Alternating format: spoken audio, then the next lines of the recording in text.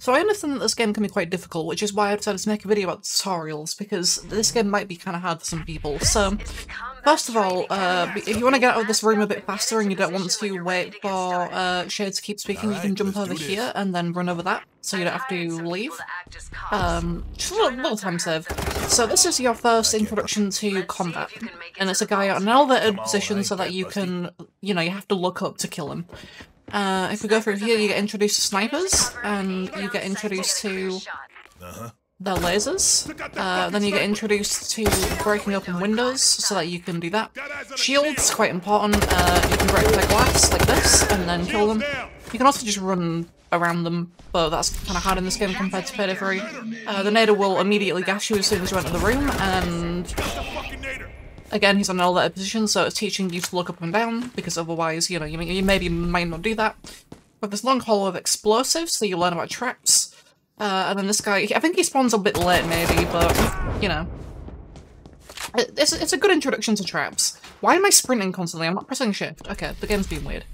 Anyway, uh, so then get, you know, more of an introduction to traps, so you can learn how uh, environmental explosives work. Pretty useful. Uh, gets told about health and armor bags, uh, because, you know, you, you will need them.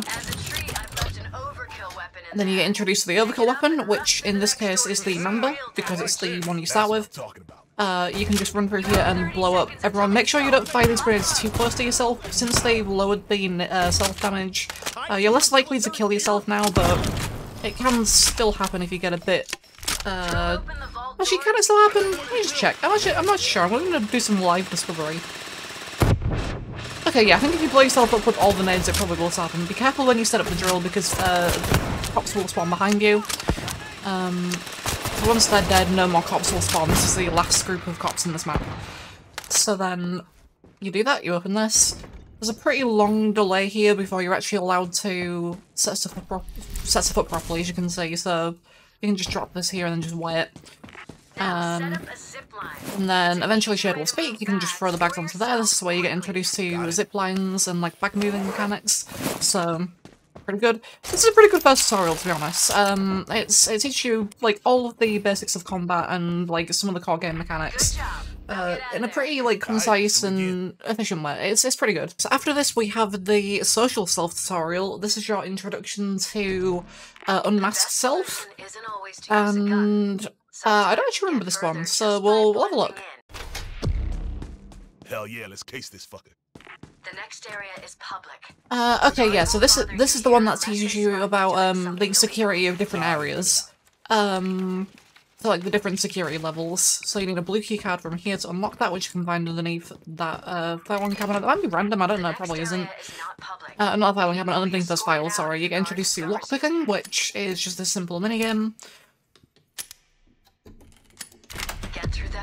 Uh, and then we have, whoops, uh, the private area tutorial. I will need you to come with me.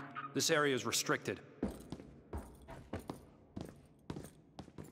So as you can see, if you get caught, then the guards will escort you out of private areas. Make sure you don't run away, otherwise they will uh, try and cuff you, and if they can't find you, then I think they call the police? I don't remember. They definitely call them a search, at the very least, and then the next time uh, you will...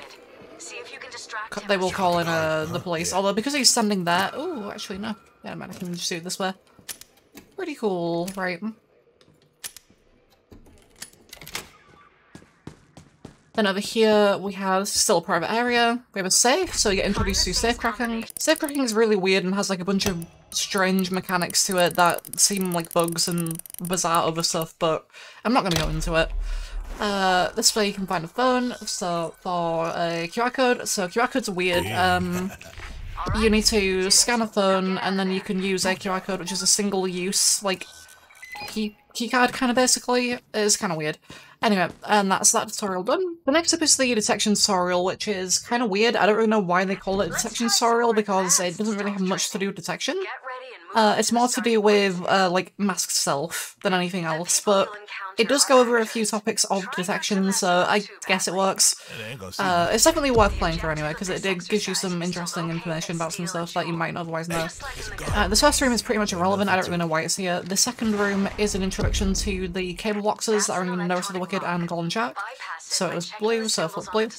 Uh, here we have a camera tutorial, so avoid cameras. Over here we have a secure area, so you can't sprint near this guy. Uh, this guy also, for some reason, uses the 1.0 detection, like, uh, AI for some reason, so if you sprint, he will walk over to where you were when the exclamation mark appeared, instead of uh, where you were when you started sprinting. Except he's not doing it now, because of course he isn't. This is really... Okay, I don't know. Maybe they changed it? They can't have changed it. Aight, Anyway, uh, if you manage to get past this guy, uh, you can actually use the keypad uh, until you kill him. What was that noise? check out the So guard. you need to kill him anyway. Unfortunate, but that is just how it is. Answer the radio. Unanswered calls. Also, that door's locked, so you do need to go through it. Suspicious. Make something up. Noth- nothing report. So to get through there, you need to break this vent and then break this other vent, and then the code is just on this very strange looking to screen. the body someplace Uh. If another guard finds it, they'll raise the alarm. really? You think I didn't know that? This next door so has a pin code lock. 7081. You need to find the right combination. Uh, so here's here's something interesting. If you manage to get into this vent without destroying the camera, it will instantly trigger the alarm and you fail. So take out the camera. Um, and then instantly a guard will spawn, I think? Oh, it's not when you spawn, I think it's when you get back. Why is it telling me to place a tool? Why is it telling me to place a tool? You know what, let's place the tool. Let's see what happens.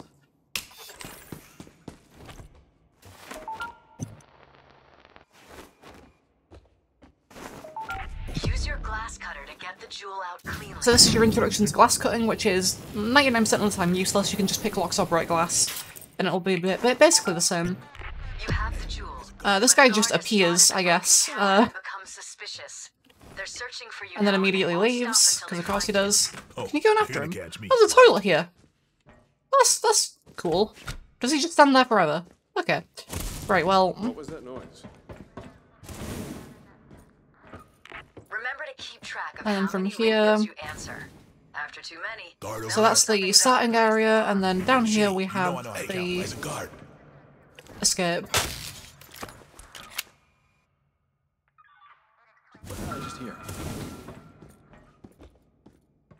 And that's that. So the last tutorial is crowd control. This is an introduction to negotiation mechanics and the new assault Controlling phases. civilians Alright, is let's go. always a Um, so It's like herding fucking cats. Yeah, you uh, you you need to open you need to shoot open this door to uh actually get through it because it's locked, and also you need to kill this guard to be able to open this gate. What? Um, once you open this gate, the alarm will go, and now you need to tie everyone up. Civilians can be used to our advantage when the cops are coming. Wow, that's that's not appreciated. Uh, and then you need to grab this guy, because this guy's the manager, and move him over to this scanner. Uh, it's worth noting that if you grab a civilian that um, that has been tied up, they will not be tied up anymore, so it's kind of weird that you need to tie them up first, because he's no longer tied up. Um. This game doesn't make a whole lot of sense, but eh, it's a tutorial, I don't care. Um, you need to disable lockdown so you can grab the jewellery, and then you need to grab at least one piece of jewellery to escape. So, First responder cops are arriving. Oh, my favorite little bitches. uh, I believe you do need to trade at least one person, I think, as well? I don't remember, it's been a while. You can make I'll do it anyway. Yeah, there you go. with the cops in exchange for civilians, like making them hold off their attack. Uh huh. And then you can grab the jewellery, and then you just need to leave, and that's it. That's it. Pick Um, and that's it. more loot or get the hell That's out of there the full tutorial.